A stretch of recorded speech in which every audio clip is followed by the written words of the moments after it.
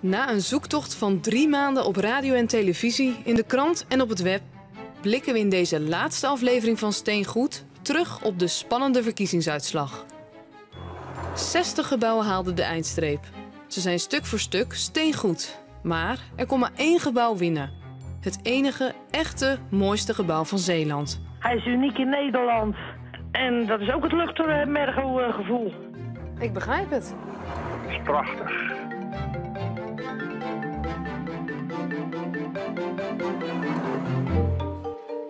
De stemmen zijn geteld en afgelopen zaterdag was het zover. De uitslag werd bekendgemaakt. In Goes, tijdens de Dag van de Architectuur. En vooraf werd natuurlijk al druk gespeculeerd. De eerste plaats de abdij. Ik heb geen idee. Ik vind het zeer spannend. Ja, ik zit echt niet weten. Een monument. Dat denk ik. Het nieuwe Sios dacht ik met die, met die als je er aan allerlei kanten, dat vind ik dan nummer 2. Ah, wij, wij, wij zelf denken wel dat we een goede kans maken. Maar ja, het is, het is afwachten. Het is, eh, ja. Eh, wij zijn in ieder geval heel benieuwd. Eén ding is zeker: mensen hebben wat met gebouwen. De kerk om de hoek, de school in de straat en nog dichterbij, je eigen huis natuurlijk. Ik heb in mijn leven natuurlijk heel veel beslissingen moeten nemen. Maar een huis bouwen, dat is echt iets apart. Het ruikt hier natuurlijk ook af en toe gewoon naar polder en naar mest. En dat, ik vind dat heerlijk. Mijn vader eh, die heeft hier op school gezeten in de jaren 60. Je kan alles zien. Het is een geweldige plek. Nou, hoe zeels wil je het hebben? Het is vertrouwd, het, het, het geeft rust. Het heeft ook heel veel bekijks als mensen hier langskomen. eh, Ze stoppen altijd en ze kijken. Rijk aan uh, details. Ze moeten het in de winter net zo goed hebben als zomers. Je voelt gewoon, je, je wil hier gewoon zelf koe zijn. En dan ben ik wel beren trots. Zeker dat we het hebben mogen realiseren. Mijn lange Jan. En het mooie van, van dit is dat je dat op meerdere plaatsen in Domburg uh, terugvindt. Een zekere mate van lelijkheid is eigenlijk helemaal niet erg. Ik vind het mooi. Hallo, Hoi. kom binnen. Ik ben terechtgekomen in het mooiste huis van Zeeland. Ja, zeker. Ja, ja dat, vindt, eh, dat vinden wij van wel. Hoi. Alles goed? Ja hoor. Ja. Zenuwachtig?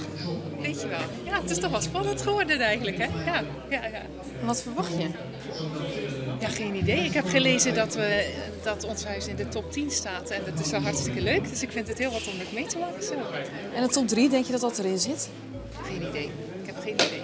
Nee. Ik zie u ja knikken. Ja, ik zeg, we gaan komen gewoon de prijs halen. Dat is het enige. Dit is de kroon op ons, ons, ons scoutingwerk eigenlijk. Wat je hier allemaal beleeft, dat is uh, ja, uniek. Het is gewoon uniek. Ja, ik mag onszelf natuurlijk niet verlogenen, dus ik hoop ook dat wij in de top 3 zitten. Ja, het, is gewoon, het werkt gewoon erg lekker. We merken gewoon dat er uh, meer rust is in de, bij de koeien. Dus ja, in principe zouden ze dan hopelijk langer uh, gezond blijven en misschien ook langer leven. Nou, in vergelijking met allerlei anderen, uh, de abdij en de Lange Jan van Middelburg, dan denk ik toch dat wij dat niet redden hoor. Dat is... Steengoed was ook een rondje Zeeland. Verrassende verhalen over oude en nieuwe gebouwen. Van Zierikzee tot Sas van Gent. Hier komen wij in de scholen. Dus bibliotheek vlak daarnaast. Dat is hartstikke handig. Blijf spannen en blijf zwaaien, hè.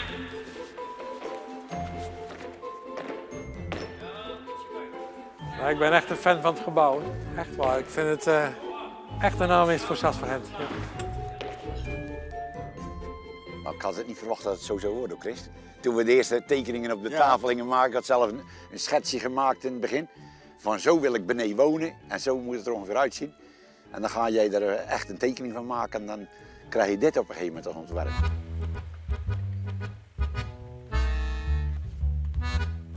Als je ziet hier die, die bestaande gaanderij en daarboven met het gebogen metselwerk, die togen erin, die grote gemetselde dakkapellen, die, die kleine kapelletjes, uh, rollagen met uh, sierstenen ertussen.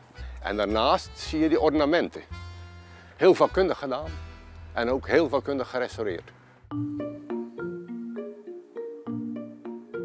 Ik wil jou in ieder geval de badkamer ook eventjes laten zien. Vanuit de dakkapel, eigenlijk zit het bad staat in de dakkapel en je hebt een prachtig uitzicht. Ook weer natuurlijk bij de, bij de zonsondergang. En het is heerlijk om hier te zitten. Dus wat denk je? Wordt jouw huis het mooiste huis van Zeeland? Dat maakt me eigenlijk niet zo heel veel uit. Het is in ieder geval ons mooiste huis. En is het niet het mooiste huis van Zeeland, het is in ieder geval het mooiste bad van Zeeland.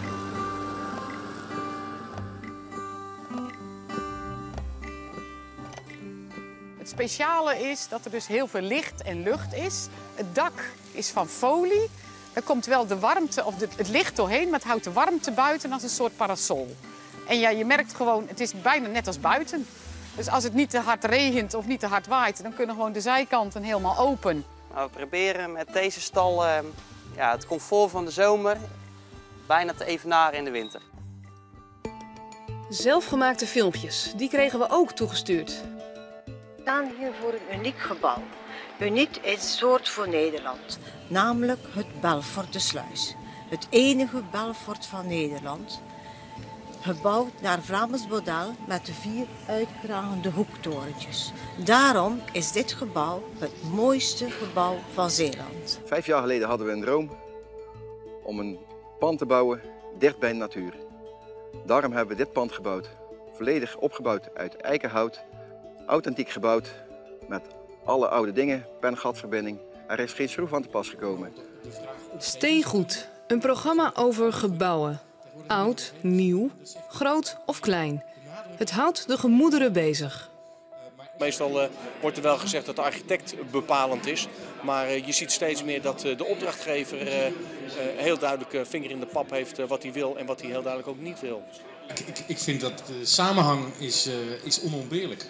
Um, bij ons op kantoor, wij zijn een bureau voor stedenbouw, landschap en architectuur heel bewust vanuit die verschillende disciplines, omdat we dat verschil eigenlijk niet willen maken. Uh, er is toch wel een kleine tendens uh, in te herkennen dat het toch wel wat knusser en wat, en wat, wat huiselijker allemaal uh, wordt.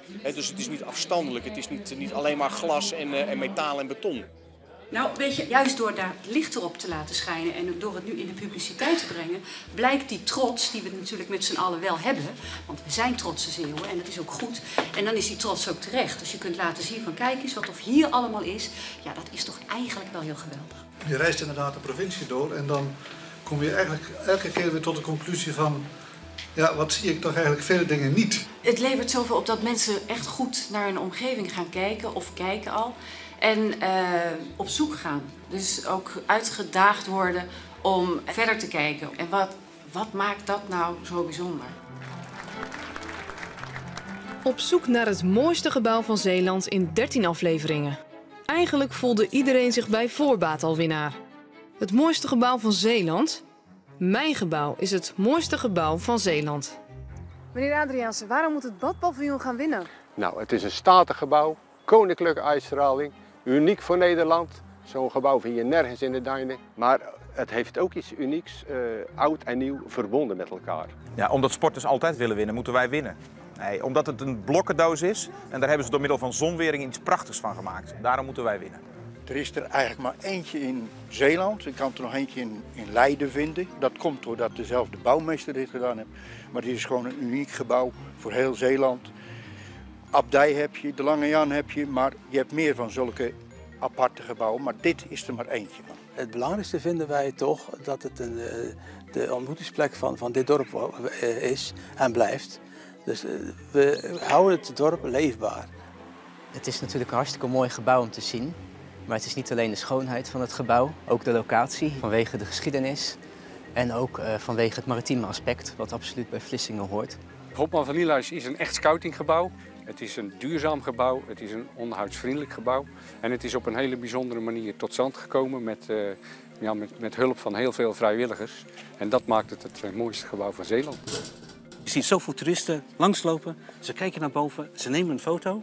Maar wat je in hun ogen ziet, is dat ze eigenlijk daarboven willen zitten. En genieten van het uitzicht. Ze hebben gewoon iets met het gebouw. Het straalt iets uit. We naderen de bekendmaking van het mooiste gebouw van Zeeland. Welke gebouwen haalden de top 10? Op 10 het SIOS, de sportopleiding in Goes. Op 9 het oude stadhuis van Veren. Op de achtste plaats het kantoor van het Nederlands Loodswezen in Vlissingen. Bouwbedrijf Bogert in Oosterland eindigt op 7. Op 6 in deze top 10 het oude stadhuis op de Markt van Middelburg. De watertoren van Oostburg, goed voor een vijfde plaats. En nog een toren, op 4 de vuurtoren van Westkapelle. Maar welk gebouw staat op 3? Op de derde plaats in de verkiezing het mooiste gebouw van Zeeland is geëindigd het woonhuis met het mooiste bad van Zeeland. Van Lucie Doren en Loek van Gich aan de Krabberdijk in Groeden.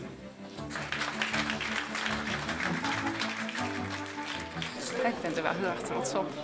Ja. Samen met Luc en met, uh, met Vincent en met alle mensen die ons geholpen hebben om, uh, om dit uh, te realiseren. Het is gewoon fantastisch. En we wonen er heerlijk en ik hoop dat we er heel gelukkig gaan worden nog heel lang. Dit wordt het mooiste huis van Zeeland. Het is het mooiste gebouw en het blijft het mooiste gebouw. Steengoed! De tweede plaats in de verkiezing van het mooiste gebouw van Zeeland is geëindigd. Het paviljoen Paal in Schorn. Even Paal. Het is inderdaad een uniek object buitendijks. Het is op de dijk eigenlijk. En inderdaad, de taboe is doorbroken. En het is geweldig om we dat kunnen realiseren hebben in ieder geval. Dus super. En toen was het zover. Eindelijk. Wat wordt het mooiste gebouw van Zeeland van het jaar 2014? Nou, dat gaan we jou nou eens eventjes mooi vertellen. En één inzender formuleerde het zo. Het is niet alleen een prachtig gebouw. Ik stem ook omdat ik het al die vrijwilligers zo gun. Met een overweldigend aantal stemmen, 20,71% om precies te zijn, is het Hopman Vernielhuis van Scoutcentrum Zeeland het enige echte mooiste gebouw van Zeeland in het jaar 2004.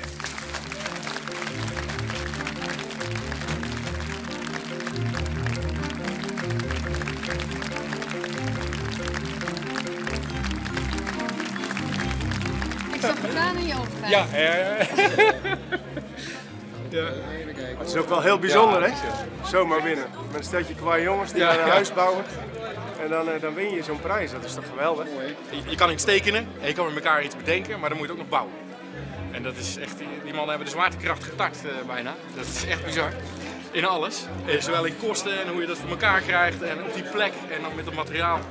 Ja, er staat gewoon een dijk van een huis. Ja, dat op deze manier gewaardeerd wordt, waanzinnig knap. Ik, ik ben heel blij mee. Nou, ik heb het al eerder gezegd. De kroon op onze werk. Ja. De kroon op onze werk met al die mensen. Ja. Geweldig.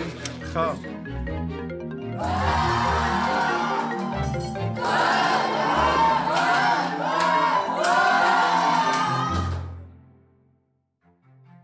Dit was Steengoed. Een zoektocht naar het mooiste gebouw van Zeeland. Wil je de aflevering nog eens terugzien? Dat kan. Ga dan naar de website van Omroep Zeeland. Je kunt daar ook terecht voor informatie en allerlei extra filmpjes. Omroepzeeland.nl. Steengoed. Bedankt voor het kijken.